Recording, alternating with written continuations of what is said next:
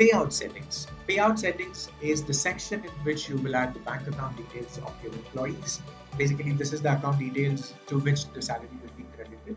Uh, you can just click on the edit option to see which bank details have been added by your employees. But if you wish to add a bank detail to your employee, you can add that as well.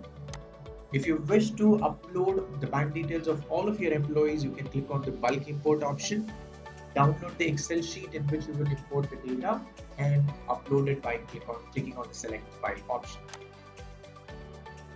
You can also export this if you want to refer to this detail at any point in time.